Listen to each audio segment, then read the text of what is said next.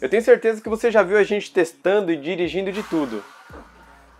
Mas um ônibus elétrico, eu sei que não. Eu sei que você está curioso para saber o que a gente vai fazer hoje, e eu também. Mas se prepara. Sim, a gente vai falar de ônibus elétrico hoje, além de mostrar as diferenças dele para o convencional e a aplicação dele no dia a dia. Afinal, será que dá para dormir dentro dele? Então bora lá. Eu sou o Renan Bandeira e você está no canal da Carve.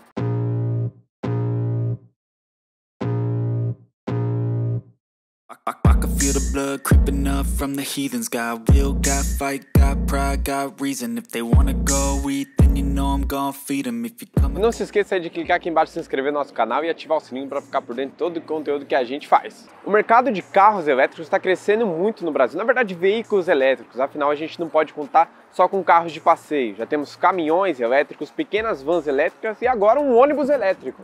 O funcionamento dele é bem parecido com o de carro de passeio. A gente tem um banco de baterias, o um motor elétrico e até a tomada para fazer o carregamento. E no dia a dia vai ser aquele esquema: carrega tudo na tomada, depois roda o dia inteiro e volta lá para a estação para carregar novamente e voltar a funcionar. O visual dele a gente já conhece muito bem, é bem igual ao que a gente já viu na rua em vários outros veículos da Mercedes, tanto que ele usa como base o WOC500, que é um veículo de uso urbano mas a grande sacada está em ele ser elétrico. Nós temos 13,2 metros de comprimento e uma série de assentos lá dentro para levar muitos passageiros. A posição de dirigir do motorista é basicamente o que a gente já vê em outros veículos, afinal, como eu disse um pouco antes, esse ônibus tem como base o O500, que é um veículo urbano. Nós temos um baita de um volante grande, aquele tipo banheirão para a gente ficar dirigindo assim, e o banco aparentemente é bem confortável para o dia a dia. Não tem nada para apoiar dos lados, mas tem bastante espuma e aí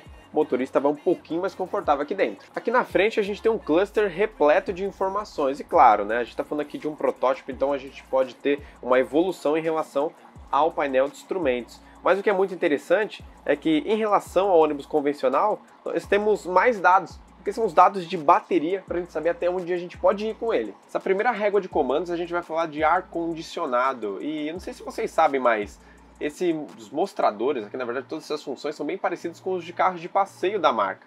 Um ponto muito interessante está na régua de baixo de comandos, que é onde a gente abaixa o ônibus, ergue o ônibus e faz todas as movimentações de suspensão. O que é muito importante é que se a gente arranca essa tecla daqui e joga para o outro lado, ela segue com a mesma funcionalidade, porque cada tecla dessa tem uma identidade, não é só uma pecinha, uma tecla qualquer. Falando internamente aqui do ônibus, a gente vai passar alguns dados de lotação. São 29 pessoas sentadas e até 57 pessoas em pé. Vocês notaram que não tem barulho, né? Afinal, a gente está falando de um ônibus elétrico e a disposição das baterias estão aqui atrás, onde a gente pode levar até duas, ou no teto, onde a gente pode levar até quatro unidades, cada uma pesando 500 quilos. Uma coisa muito legal aqui, quando a gente fala de um ônibus ser silencioso, é porque algumas coisas vão mudar.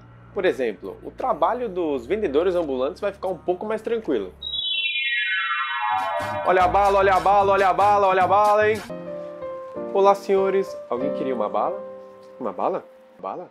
Sem o motor a combustão, também vai ficar um pouquinho mais fácil dormir. Eu quero ver agora se o motorista não ouve o sinal da parada. E aqui dentro do ônibus, aproveitar que ele está vazio, não está super lotado, dá para a gente ter uma percepção melhor de como é andar em pé nele. Afinal, é, quem pega transporte público sabe que conseguir um assento é muito difícil. Então aqui a gente tem um bom espaço aqui. A gente só não pode falar o mesmo tanto, na verdade a mesma quantidade de espaço aqui no meio, que é onde geralmente vai a catraca. Quem já passou por baixo da catraca? Deixa aí nos comentários. Mas quando a gente passa aqui, se não houver catraca, vai estar tá mais apertado. Mas a parte boa é que a gente consegue apoiar a mão aqui, não precisa ficar com o braço sempre erguido. O espaço aqui dentro é bom, eu tenho 1,87 de altura, sobra quatro dedos aqui para os joelhos e espaço para a cabeça, então, vixe, sobra bastante. O que é legal aqui no ônibus é que a gente tem uma série de portas USB para fazer carregamento de celulares. E além disso, nós temos dutos de ar-condicionado em todos os lugares praticamente. E já vou dar uma dica para você que está pensando em trocar de carro. Você sabia que existem seminovos certificados? São seminovos certificados pela Carve, que dá um ano de garantia para motor e câmbio. São mais de 280 itens verificados para você levar aquele seminovo para casa sem ter nenhum tipo de dor de cabeça. Acesse agora carve.com.br e acesse milhares de ofertas de seminovos com um ano de garantia. Bom, agora a gente vai dirigir.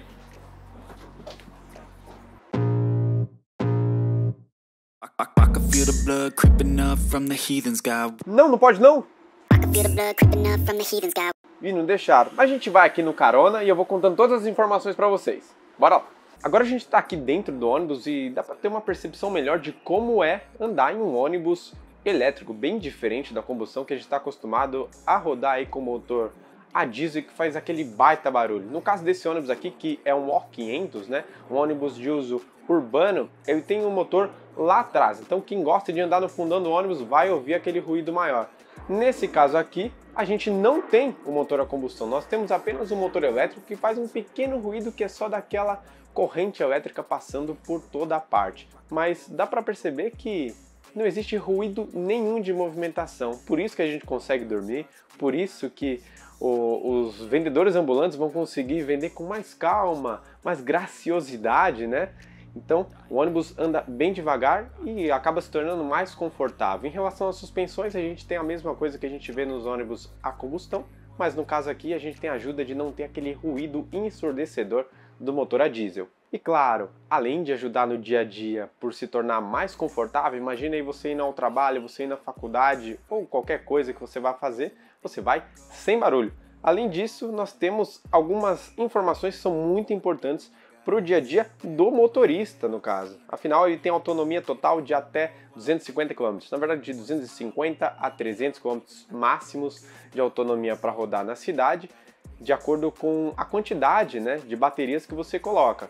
Aí fica a critério, obviamente, do comprador, né? Se coloca as seis baterias ou menos, de acordo com o que bem entender.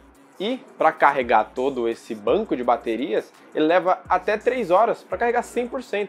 Ou seja, em 3 horas encostado ali na sua garagem, você vai ter mais de 250 ou 300 km de autonomia para fazer o itinerário novamente. E para ter o controle, né, para saber até onde vai chegar, para não parar no meio da estrada e deixar todos os seus passageiros na mão, o motorista pode confirmar as informações de autonomia e também a carga da bateria via painel de instrumentos. Como vocês podem ver aí na tela, ele consegue perceber a quantidade de bateria que ele tem disponível ainda para rodar, quanto de distância ele vai conseguir percorrer sem deixar ninguém na mão. Você deve estar se perguntando qual é a dele no nosso mercado. Na verdade, é mostrar que a tecnologia dos carros elétricos também chegou nos ônibus. E aí você fala, mas Renan, tão pouca autonomia? É o suficiente para o dia a dia. 250 km dá um baita itinerário e muitas voltas pela cidade. Já aproveita aí, se inscreva no nosso canal, ative o sininho para receber as notificações e deixe seu like para motivar a gente a fazer muitos e muitos mais conteúdos como esse.